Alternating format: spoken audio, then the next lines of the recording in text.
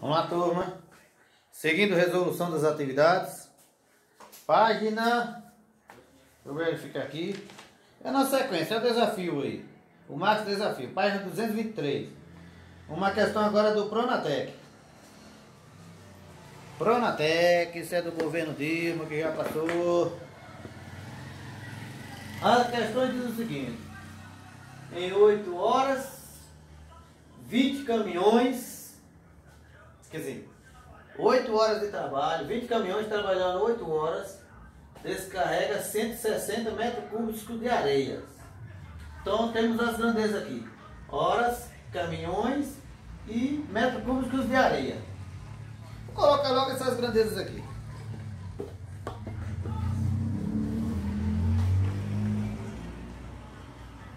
Horas, caminhões Em 8 horas, 20 caminhões descarregam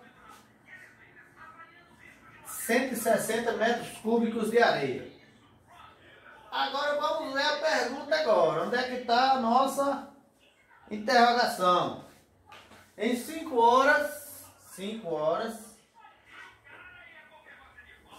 Quantos caminhões? Eu não sei quantos caminhões serão necessários para descarregar quantos metros? 125 metros cúbicos de areia. Está aí a pergunta. Agora vamos verificar se é grandeza direta ou inversa. Eu sei que é o seguinte. Continuando a leitura aqui. 8 horas, 20 caminhões, 160 metros cúbicos. 8 horas, 20 caminhões, 160 metros cúbicos.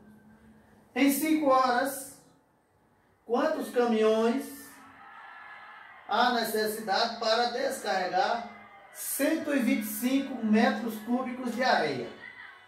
Ó, o primeiro passo, como você tem aqui agora, é uma regra de 3 composta, porque ela vai ter três grandezas.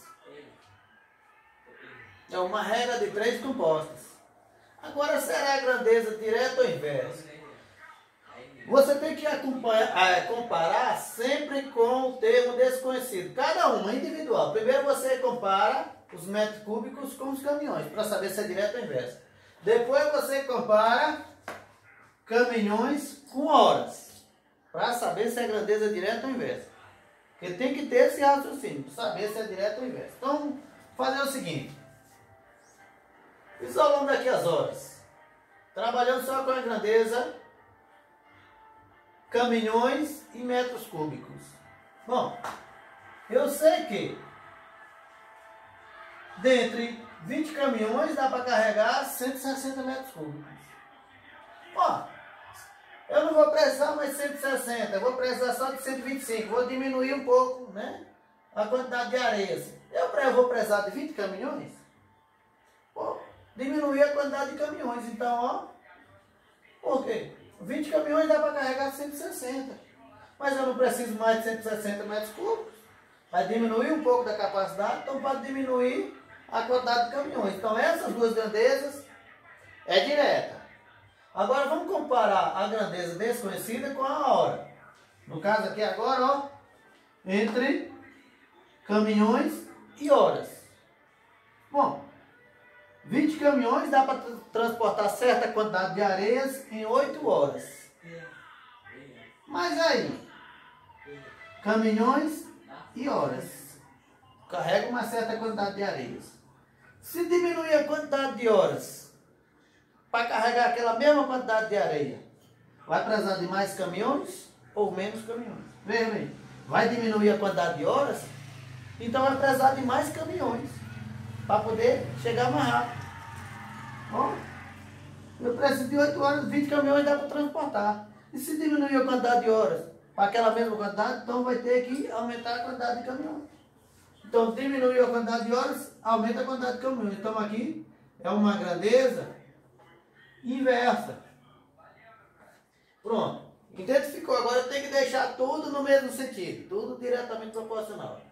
Começa logo isolando aqui onde tem a grandeza desconhecida, ó. 20 sobre x, ela vai ficar isolada das outras. A grandeza desconhecida. Quantas grandezas tiverem agora vai ser multiplicada uma pela outra. E vamos aqui já organizando. Vou inverter essa grandeza aqui, ó. 8 por x. 8 por 5 vai ficar 5 por 8. Agora vai ser multiplicado, porque quantas grandezas tiverem agora vai ser multiplicada pela outra. Que aqui já ficou nesse sentido, ó. Tá assim, ó. 20 sobre x. 8 sobre 5, porque ela foi invertida. Ela é inversa com a hora, então inverteu. 160 sobre 125. Tudo no mesmo sentido, ó. Agora, professor, vou ter que multiplicar 5 vezes 160 e 8 vezes 125? Sim. Se você não quiser fazer essa multiplicação, simplifica essa grandeza aqui, ó. Não dá para simplificar? Lembra a simplificação de fração?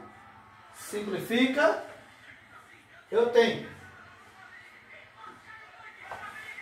160 e tenho 125. Não dá para dividir terminou em 0 e 5? Dá para dividir tudo por 5.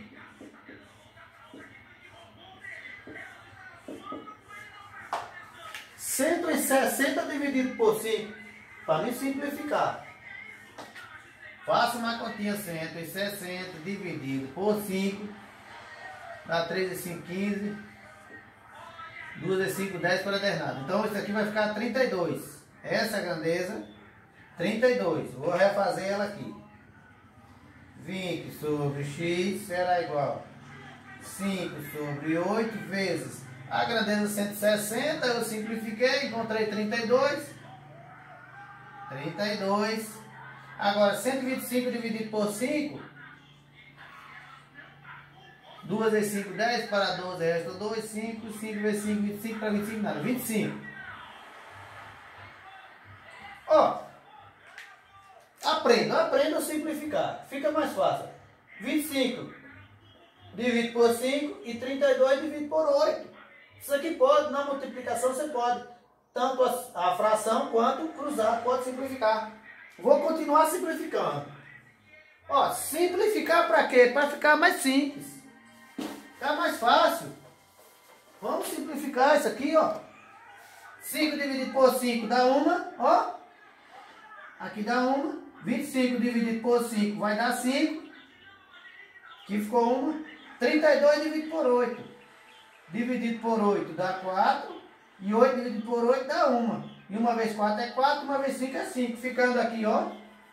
20 sobre x será igual a 4 quintos. Professor, ficou bem mais fácil. Ó, 5 vezes 160 dá 800. 8 vezes 125 vai dar Parece que mil, oitocentos, é mil. Aí mil dividido por oitocentos, não, aqui ó, agora já está bem simples. x vezes 4, levando para cá. 4x, professor. 5 vezes 20, professor. Do outro lado, 100. Agora o 4 que está multiplicando passa dividindo. Vamos lá. x será igual a 100 dividido por 4. Que número multiplico por 4 para chegar a 100?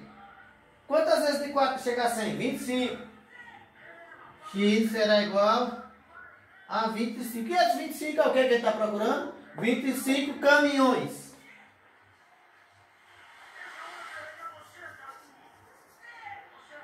Então tem como resposta lá, está procurando quantos caminhões para carregar Quantos caminhões serão necessários para descarregar 125 metros cúbicos? 25 caminhões. Procura lá nas alternativas, letra E. 25 caminhões. Uma questão da Pronatec. É uma regra de três composta. Tem que analisar as grandezas, se ela é direta ou inversa. Tudo com o termo desconhecido. Depois isola o termo desconhecido, multiplica as outras grandezas diretamente. Se for fração aqui agora dá para simplificar as frações, simplifica o máximo que puder. Se não souber simplificar, você vai multiplicar direto, fazendo uma grandeza só. Ok?